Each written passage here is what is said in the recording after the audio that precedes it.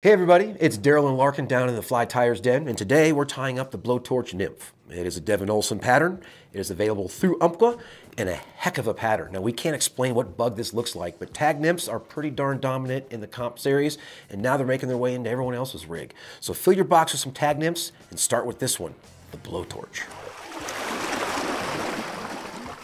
All right, in the vise, I've got an Umpqua X Series 400 barbless size 14 with a 3.5 mil copper bead. UTC 70 in Fireflow Orange, and one of the new Tiemco bobbins because it's that comfy and nice to, to spin.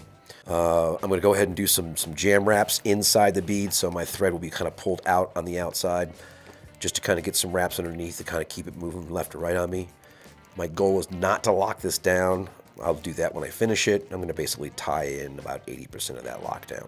If you find your thread building up out here, you're going too vertical. You want to make sure that you're really kind of pulling that inside that bead as best you can. And then you can always back off and make sure that you're, uh, you're happy with your taper coming out of that. So we're going to go ahead and do our thread wraps all the way back to the hook bend and tie a tail in. This is a tag nymph. Uh, the blowtorch uh, is a very unique pattern all right. All right, we're going to tie in the tag section of this, this nymph, this fly here, which is going to be some Glo-Brite number five. And if you go over to Devin's website, Tactical Fly Fisher, he does have a blog entry on the blowtorch, and it's actually a really cool story. I recommend going to check it out. He kind of gives you some insight in how he came about it, how he found it, was introduced to him, and how he modified what he saw uh, to his liking. So we're going to go ahead and tie in four strands of the number five Glo-Brite. This is not a long tail. It's a tag nymph, so we're going to go at probably that four to five mil zone. Uh, and anything longer will definitely be visually too long, you'll know. And now we're going to tie in a rib and a piece of flash.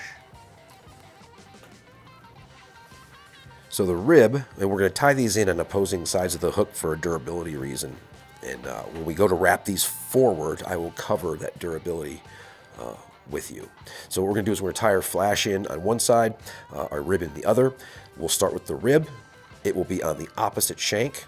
So I'm just going to go ahead and capture, slide that right in behind my bead head, and then I'm going to go ahead and secure this to the hook shank on the other side. You'll notice I did a little angle up to accommodate for the, uh, the, the thread push going around my hook shank.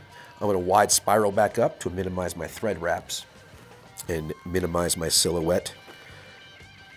And I'm to tie in some micro Flashabou. Now you'll find micro Flashabou readily available at your local fly shop. Uh, not so readily available for most cats, depends on your, uh, your location, is Sulky. And Sulky is nothing more than a micro Flashabou product that's sold in fabric stores or sewing stores.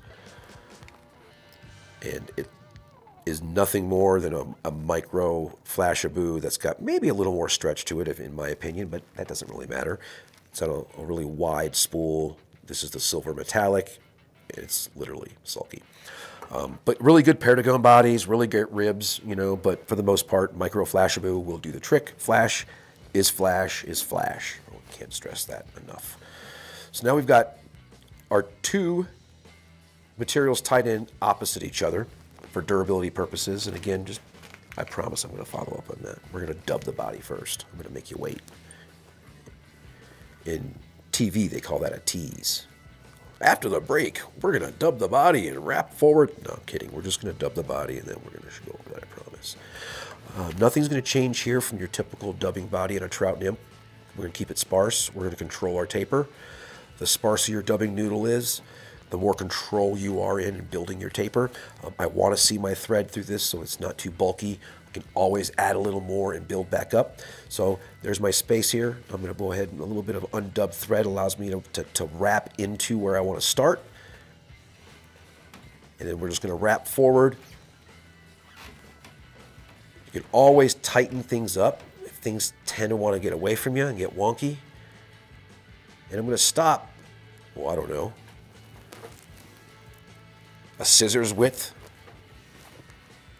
one blade width. Well, let's do that. Not a pencil's width, but one scissors blade's width. Yeah. uh, for the back head. And that's basically so we just have room for our CDC feather and our hotspot. If we start doing everything up to that bead head and then we start finishing the fly, we're just not going to have room for it.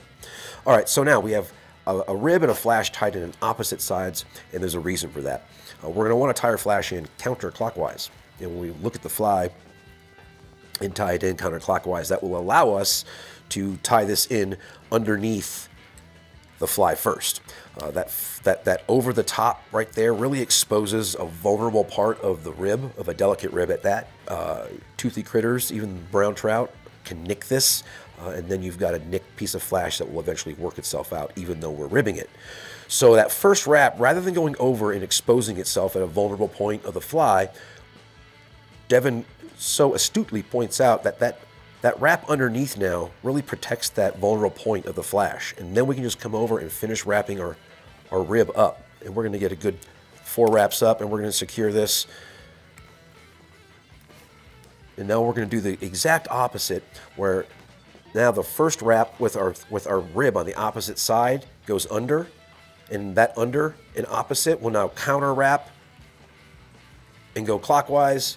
So not only is it going counter or opposite of our rib, but that first wrap is also capturing underneath. So now we have the rib and the protection of the rib underneath, out of uh, harm's way of the toothy critters. I will add a little bit of Zap-A-Gap to my thread here.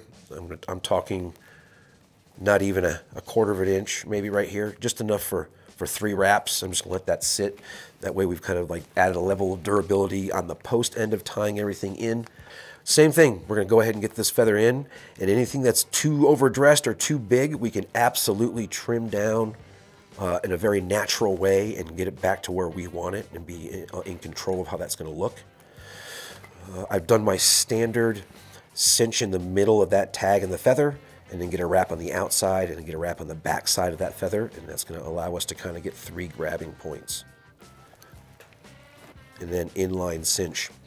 I'm just going to bring these feathers back and wrap in a very meticulous forward motion and wrap up to that bead. I don't want to wrap my whole feather. That's going to get us into the overdressing section of the fly. So I've got a section on our wrap on the both sides of my feather. I'm going to now clip this off and I'm going to go ahead and preen things back and just give one or two securing wraps in an inline cinch versus a 90 cinch.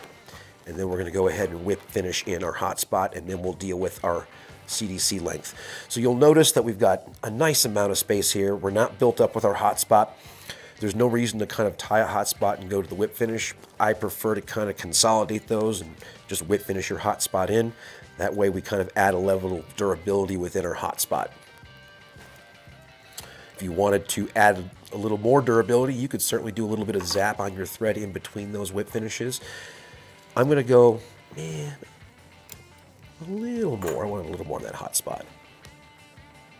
You know, trim that nice and close. And then when you look at your CDC feather, we're going to want to keep this no longer than the tail. And marabou or uh, CDC, those soft feathers, you can always pinch where you want them to be and then just take off the ends and you get a broken feather. And that broken feather really gives you a more natural taper on the end of that fly versus just cutting them. So you can kind of pinch and pull and break them off and kind of still have them look natural versus just cutting them right off. So the breaks kind of happen inconsistently, which gives it a more natural look.